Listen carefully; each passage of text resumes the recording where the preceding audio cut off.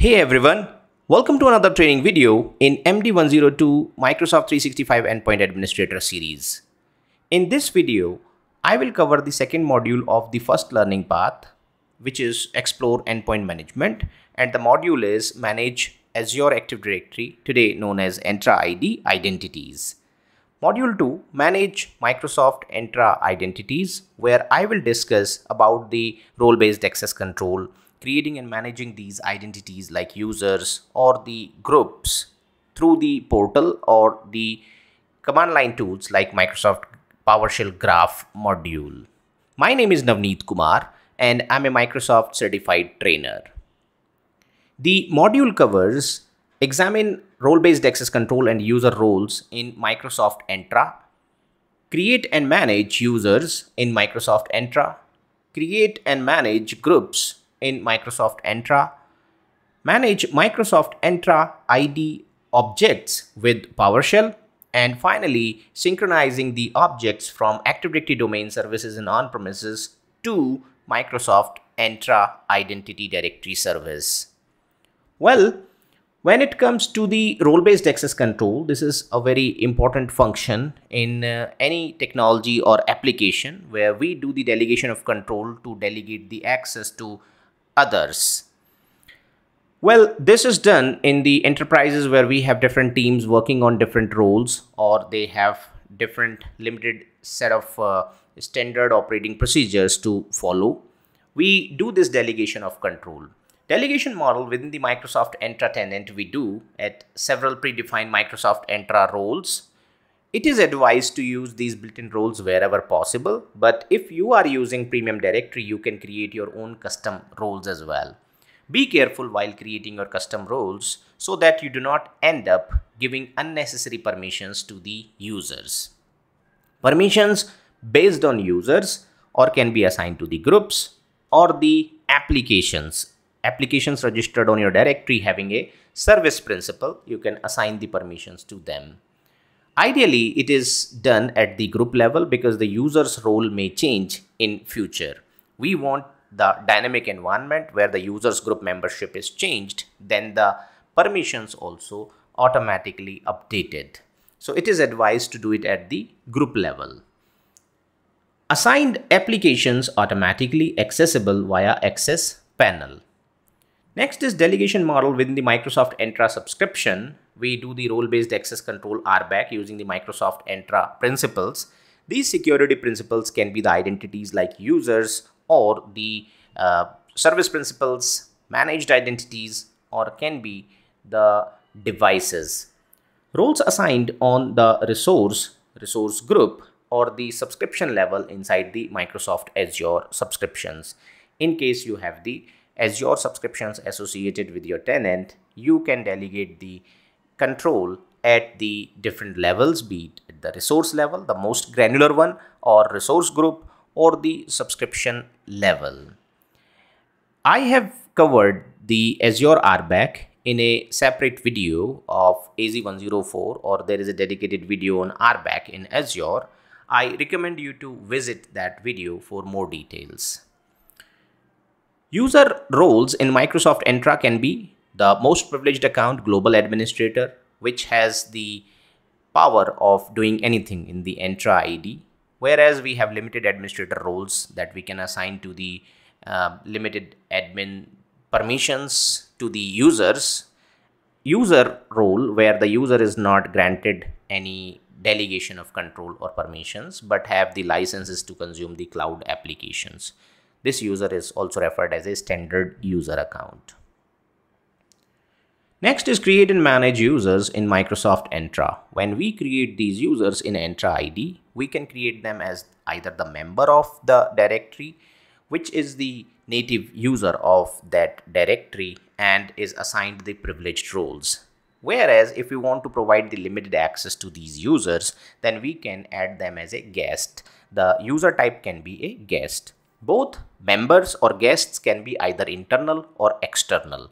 So we can have internal members or internal guests or external members and external guests. I have covered this in managing identities in a separate video, but for your information, the internal members means they are full-time employees of your company and have full-fledged access in your environment. The privileged roles can be assigned to them. Whereas the internal guests are the new joinees of your company, be it interns or some employees that are not yet permanent in your organization. So you want to provide them the limited access so you can make them as internal member in your directory but as a guest. Whereas external people can be invited as a guest which is a true guest and the external people can also be invited as a member to your directory which is for providing them the privileged roles to support you in your projects there are two ways to create and manage these users as a cloud identity you can create them within the Entra if you are a cloud-born company or you can synchronize them from your on-premises. That is for a hybrid setup where you can synchronize these identities like users, groups or the devices to Entra ID. Create and manage groups in Microsoft Entra. We create the groups to make the users member of these groups to ease the assignment of the roles and permissions these groups can be security groups where we use them to assign the permissions as the name suggests, whereas mail enabled security groups have the email mailbox as well for this group. Distribution is just a distribution list of the users. The email sent or distributed to this distribution group is distributed to the entire group. Office 365 groups so the distribution and Office 365 groups are primarily used for collaboration purpose, whereas security groups are used for security assignment. Membership for a cloud-based group can be assigned or dynamic. If you are using the premium directory tier, P1 or P2, then you can have the directory uh, dynamic assignment of the users as well.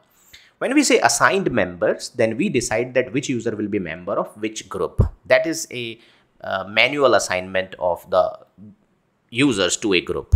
Whereas in dynamic, we can provide a uh, condition where if this expression meets certain criteria like the user's attributes be department city country if the user meets that criteria then user will be member of a particular group. So such sort of expressions we can put and it will evaluate those expressions and whichever the user meets that criteria will be assigned to that group dynamically.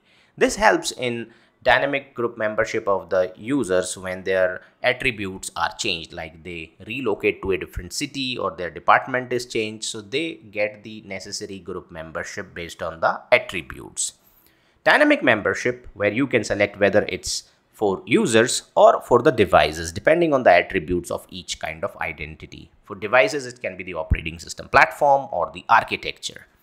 Groups from on-premises Active Directory with dynamic memberships don't synchronize with Azure Active Directory or Entra ID.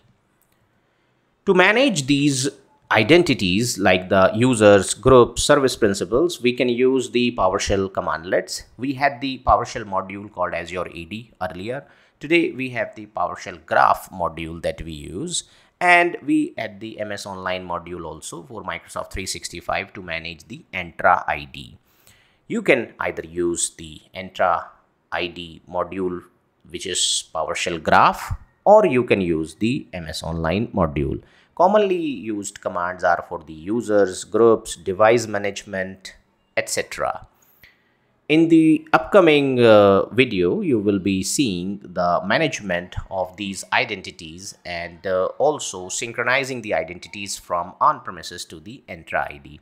When we have our on-premises directory, we want to ease the management of the identities from one single place. So we put an Entra ID Connect tool or the Cloud Sync tool, Entra Cloud Sync, a lightweight tool, and we synchronize these identities from on-premises to the Microsoft Entra ID. In this way, the users get access easily to the cloud applications and on-premises using a single account. We can either go with same sign-on or single sign-on, be it password hash synchronization we can go with or the federation whereas the users or for administrators it also becomes easier to manage these identities. This module covers the lab on managing the identities in Azure Active Directory and synchronizing the identities by using the Microsoft Azure Entra ID Connect, formerly known as Azure AD Connect or Directory Sync tool. Entra ID Connect is the successor of uh, Azure AD Connect, though we have got the Entra Cloud Sync tool as well, which is the latest and recommended to be used for current or future deployments because that's going to be the future of this hybrid identity setup. The video Next video will cover this Entra ID Connect to synchronize the identities as well. This is the recap of this learning path. In the previous video of this, I covered understanding the Microsoft Entra ID. And in this video, I discussed about manage Microsoft Entra identities.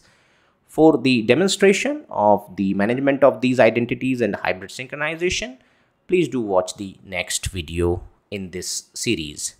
I hope this tutorial was informative to you. Thanks for watching. If you have not subscribed my channel yet, do subscribe it for latest updates on my videos. Thank you.